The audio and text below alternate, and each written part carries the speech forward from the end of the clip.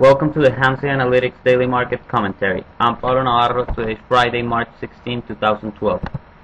Today's economic data, CPI, came in at 0.4%. We're expecting 0.3%.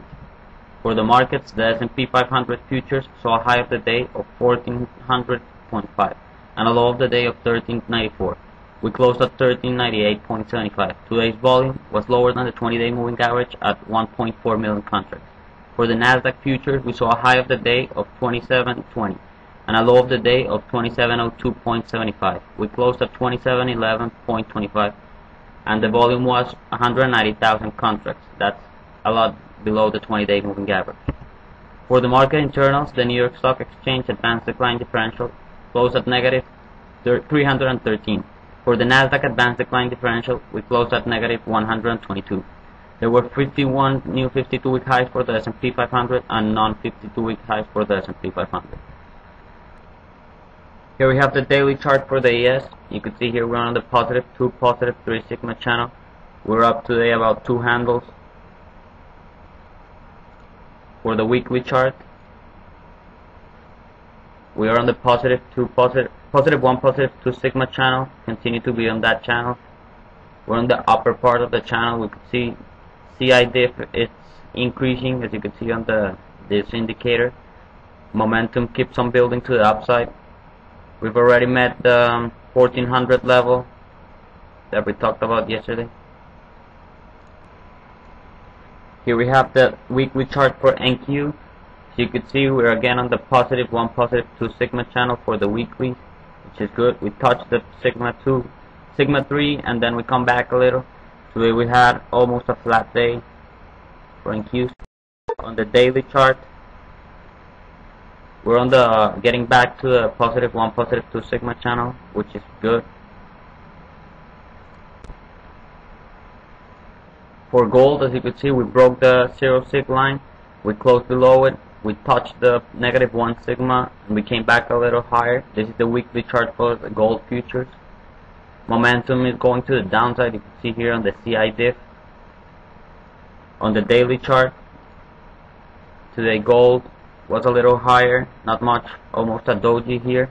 We're still on the positive, negative 1, negative 2 sigma channel.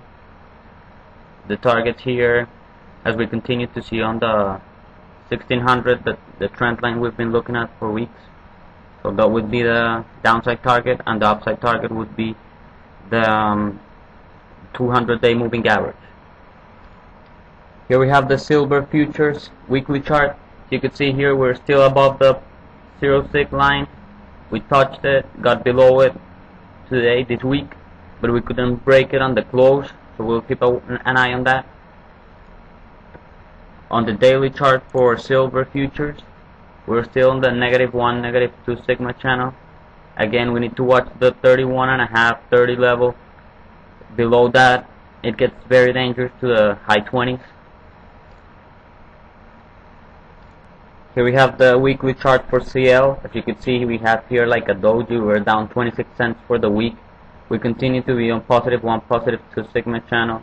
It was quite a comeback for crude after being down for the week almost. We were up 2.5% that was after the rumor that um, on the SPR, but it wasn't true, and then again on the tensions of Iran. So oil still has some pressure to the upside. On the daily chart, as you can see here, the sigma channels now are very compressed. You can see here on the width, it's going very low right now, so we're maybe looking at a move to either side. So you know the levels on the high side would be 108, uh, 110.85, which was the high of last week, or last couple of weeks. And on the downside, we continue to look at the 104.32 level, which is the trend line we drew that has been acting as support for the last couple of even months. So keep an eye, an eye on crude. Here we have the weekly chart for the VIX. As you can see here, this was the fifth consecutive down week we're on the negative 1, negative 2 sigma channel we have been for a couple of almost all 2012 and the late 2011. On the daily chart we were today down 6% for the VIX. The one thing to to take a look around is CI, some green, and it's pointing upwards. So we might take a look at that on the VIX. Maybe we're seeing a turnaround point here.